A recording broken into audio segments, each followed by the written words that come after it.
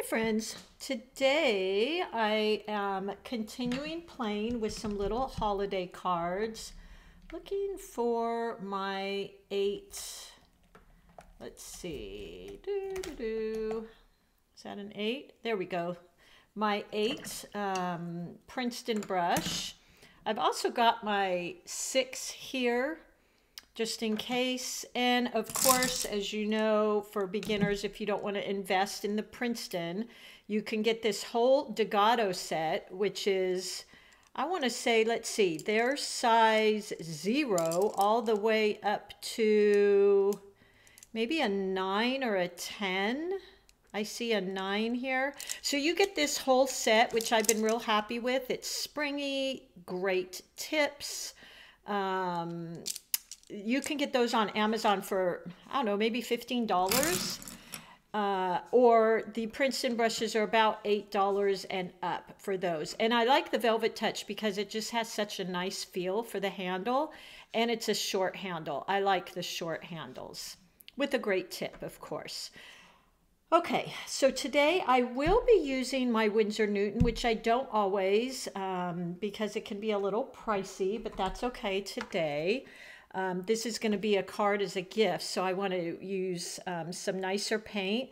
So I'll be using, we're going to make some little holly berries, and I'm going to be using my sap green and my olive green and maybe some bright red or magenta, something like that, um, alizarin crimson. And uh, then I've also got, make sure you have your two wells of water. Of course, I love the Meeden because it won't dump over. If you've had that happen, that's a nightmare. Um, and it's just good quality ceramic. So one to wash my brush and one to rinse.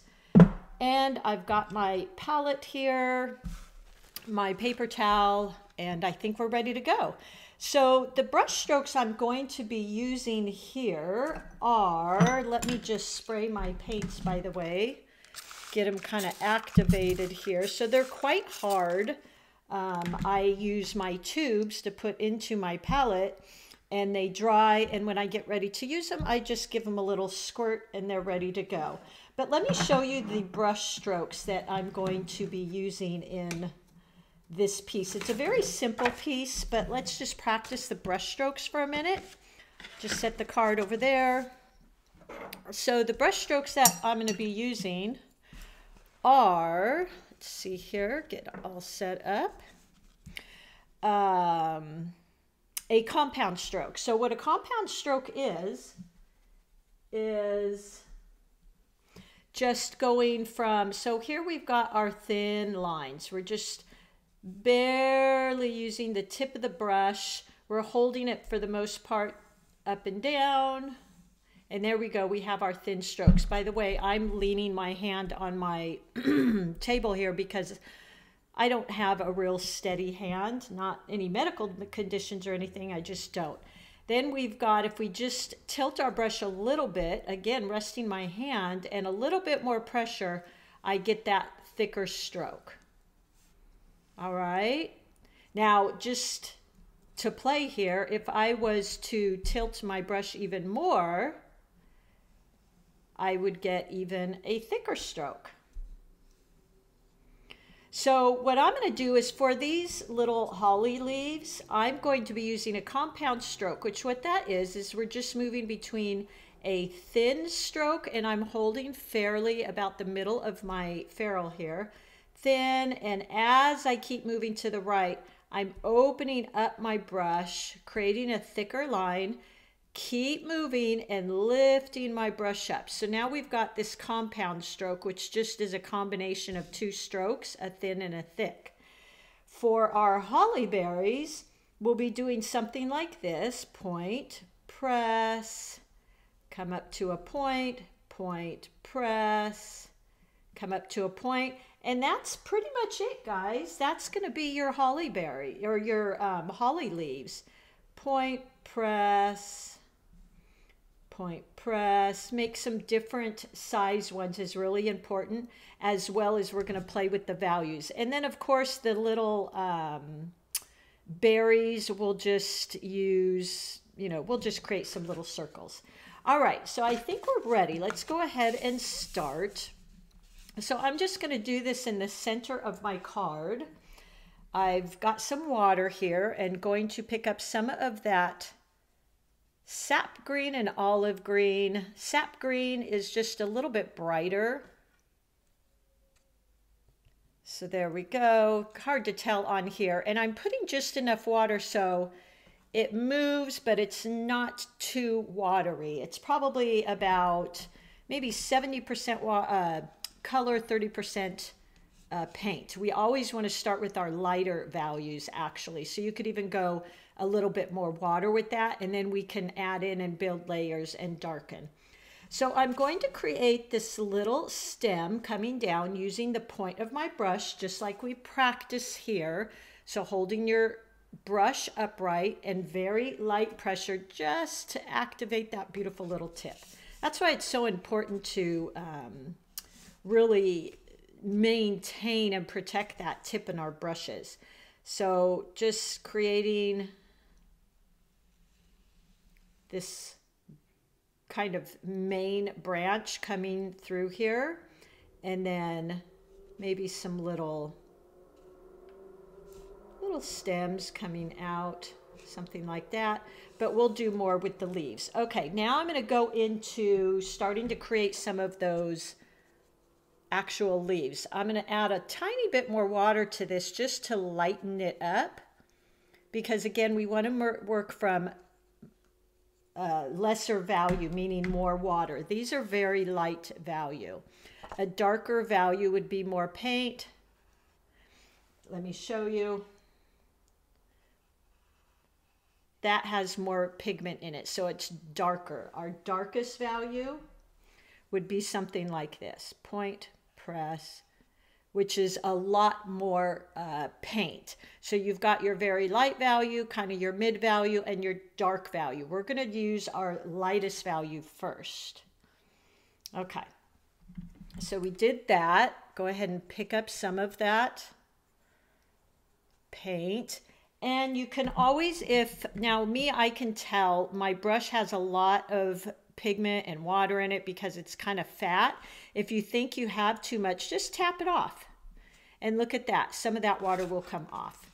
And now let's go into working from the top down. Point, press, and start creating these fun little holly leaves. Point, press, point, press, point, press, just like that. You can go into that. I'm picking up a little bit brighter green, point press. You can point press, just kind of go over them if you want. Point press, point press. And let's see, point press. You can go up or down. You'll kind of find, see for me going from bottom to top is a little bit harder. So I tend to go from top to bottom, point press, and we'll just keep going with that.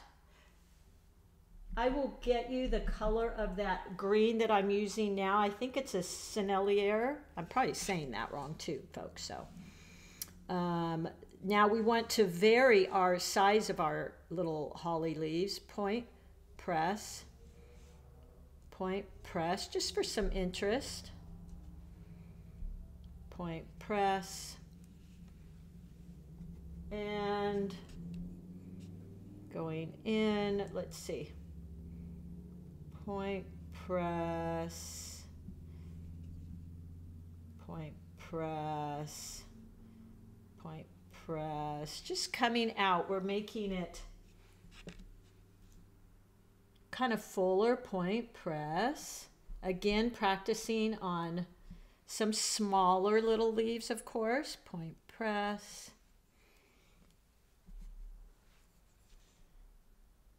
Point press. Point press. And I'm going to, I feel like we need it to be a little bushier down here. Point press. Point press.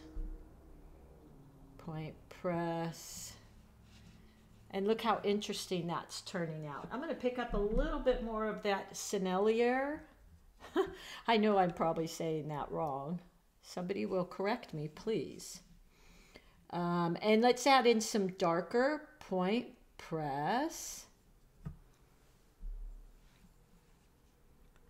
Point press. And see how that just immediately, oh boy, that's okay. We're going to leave that. Point press. Just some more smaller leaves here. Point press. So I'm getting some different combinations of colors. You know, choose a few greens. Point press, point press. And the darker the values, the more they pop out. So we could even go in and I'm washing my brush a bit, if you can see that. And going to use a very light version, very light value, and put some in the background. Now, I'm not sure if you can even see those, but they're a very faint green. And what that does is it makes them look like they're in the back. Okay. Point press. There we go. Now I'm going to take this wash and rinse. I'm going to take my six long round because I love how long it the bristles are and the point. And let's pick up a tiny bit of brown, any brown you like. There we go. I'll list my colors for you. And I'm just going to add in a tiny bit here to a few of these, just to show some of these branches. I love adding brown to my brand to my leaves. I think it's so pretty when they blend. Now, because I waited a little bit longer, they're not quite blending as they might normally, but we've got some in there. And now we're about done, guys. And this is, look at what a cute little card that is. And this is the Strathmore cards, but look how beautiful that is. Let's make some little round berries. Now, if you're using your MieLiang, this would be your any of your greens, your sap green, your tree green, whatever green that you really like, use that. And I think for my berries, I'm going to use, let's do a little alizarin crimson, or you could do rose madder in your MieLiang. And let's just add in a few berries here. Just here and there. Little bunches. And we want to lead our eye through our painting with these fun little berries. So I'm using both Rose Madder um, and a little alizarin crimson for these berries. Uh, the MieLiang palette's absolutely perfect. This is the Rose Madder. You could use that or any of these berry colors, really. Decide what you kind of like. Love, as you know, I love the My MieLiang palette for those of you that are beginners and don't want to invest in Winsor Newton. Um, I don't paint with Winsor Newton every day because I can't afford to. And this My MieLiang palette's really great. I love it a lot. Um, okay, so let's pick up a little more of that. Maybe we'll add a little bunch at the bottom here.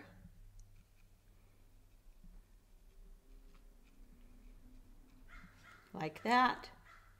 I tend to do everything in threes, but really doesn't have to be that way. You could do more.